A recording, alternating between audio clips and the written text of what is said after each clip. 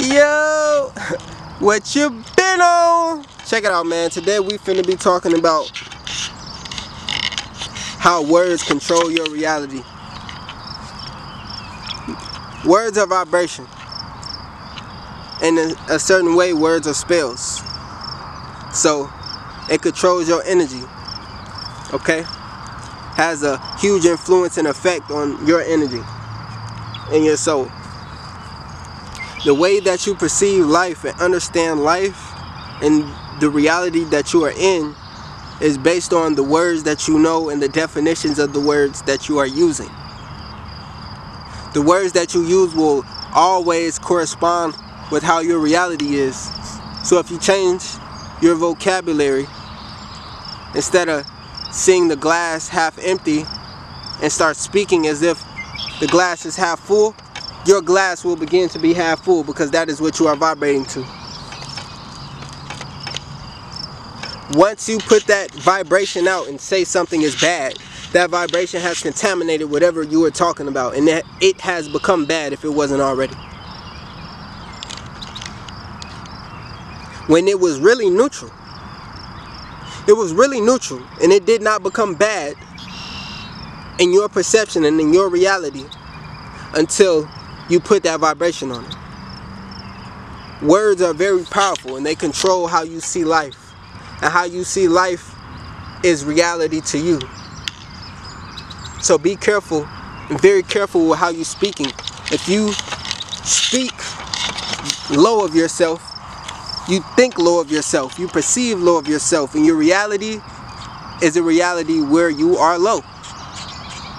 If you speak high of yourself, you think high of yourself. You perceive high of yourself. And your reality will become that of which you are high.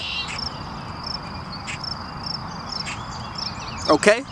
Become your higher self. How can you become your higher self if you're always talking low of yourself? And if you wake up in the morning and look at yourself and say, I am beautiful every single day, I promise your looks will start to change because reality is based off of thought. And your thought made you look more beautiful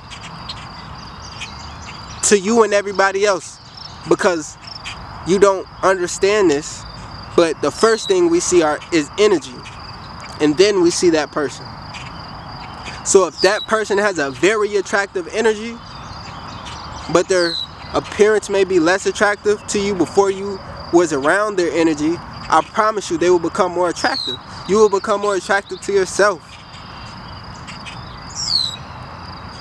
Energy overrules all. Energy trumps everything because everything is energy. All right?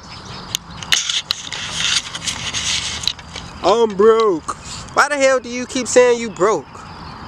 You're going to be broke forever because you're forever saying that you're broke. I say that I'm rich. That's what I say. I say I'm rich in however way that may be rich in success, rich in love, rich in money. I am rich. I am rich in knowledge. I am not poor in anything. I am not experiencing lack in any way, shape, or form. That energy that I just put out is very important. That was a vibration that I just placed upon my own soul. And it changed my perception a little bit more about myself. What you are experiencing is in line with your perception. So, if you look at money differently and perceive it differently and perceive yourself to be more than what you think you really are, what the physical tells you, when the spiritual trumps over the physical every time, then you will become that. You will become what you speak.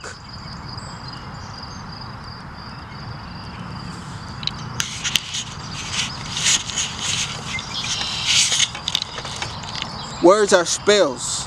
Words are vibration. That is the spiritual. That trumps over everything else. So be very careful about how you speak about yourself, how you speak about the experiences that you go through.